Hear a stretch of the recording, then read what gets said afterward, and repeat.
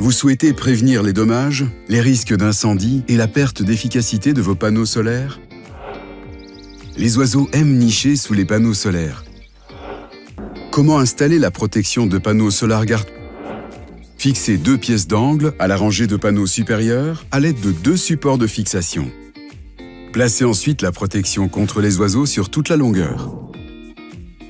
Fixez un support de fixation tous les 25 cm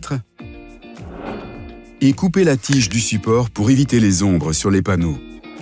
Répétez ce processus sur les autres côtés pour protéger les panneaux contre les nuisances des oiseaux.